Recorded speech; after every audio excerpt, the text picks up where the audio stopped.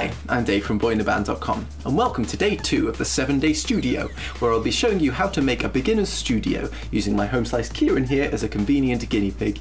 Here's a stale cookie for you, Kieran. Oh, awesome. Today in day two, we'll be looking at the beating heart of the home studio, the sound card. Do you know what a sound card is, Kieran? I, I guess, but I was thinking more this variety. Maybe I should call it an audio interface instead, since it doesn't look much like a card. The audio interface allows you to take sounds and signals from the real world and put them into your computer, enabling you to record live vocals, instruments, and if you've got a really powerful mic, people's thoughts.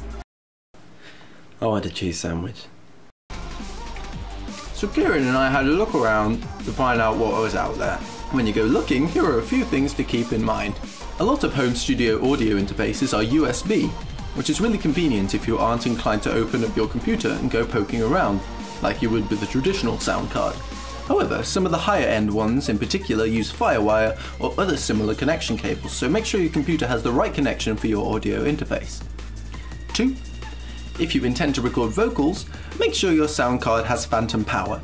Some of the cards don't have this, it's usually referred to as plus 48 volts phantom power, and it'll be a little button on the front of the interface. This allows you to power condenser microphones, which I'll talk about in depth later, but basically they record vocals really clearly compared to other types of microphones.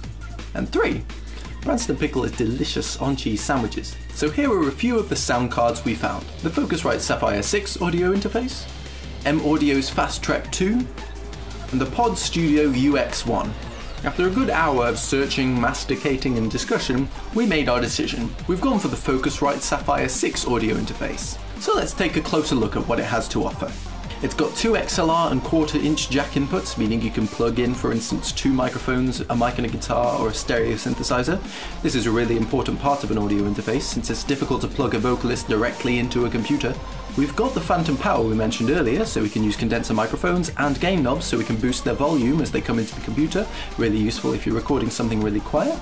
There's a headphone socket so we can do some late night composition without angering neighbours, and we've also got the monitor volume so we can change the speaker volume nice and easily while we're mixing. On the back, we've got MIDI inputs useful for playing virtual synths and samplers with MIDI devices, which I'll talk about later on, and several outputs on the back, which Kieran thought would be really useful if you wanted to try playing live.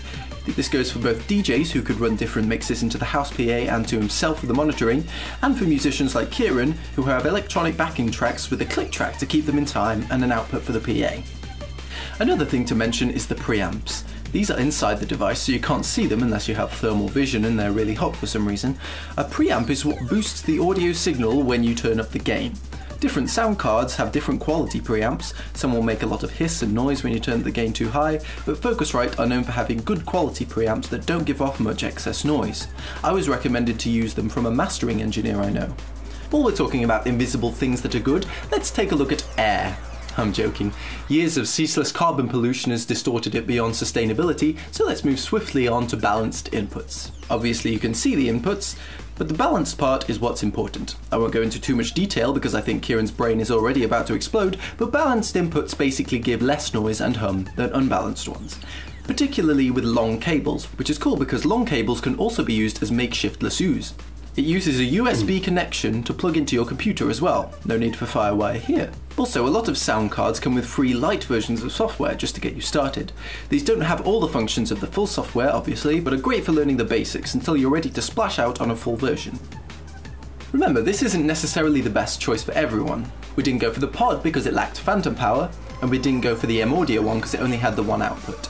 Also, neither of those two had MIDI inputs, meaning we'd have to get another device if we wanted to use a MIDI controller that didn't have its own USB input. Since it had quite a few more options for not much more in terms of price, as well as those really good preamps, we decided to splash out the bit extra.